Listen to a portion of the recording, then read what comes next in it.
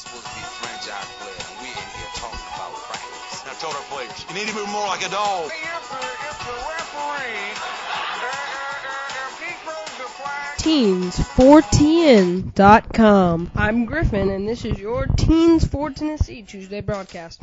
I hope everyone is having a great May so far. It looks to be a promising month in the world of sports. The Charlotte Bobcats have opted to not renew head coach Paul Silas's contract after their atrocious 7 and 56 season this year. The LA Clippers had a 27 point comeback last night against the Memphis Grizzlies. Point guard Chris Paul begged the head coach to let him back into the game, saying, We can win it, we can win it, and they did.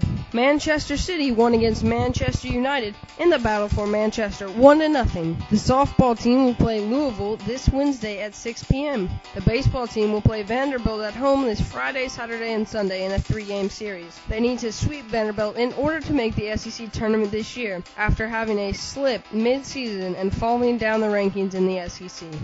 For more, you can go to teens4tn.com, follow us on Twitter, or like us on Facebook.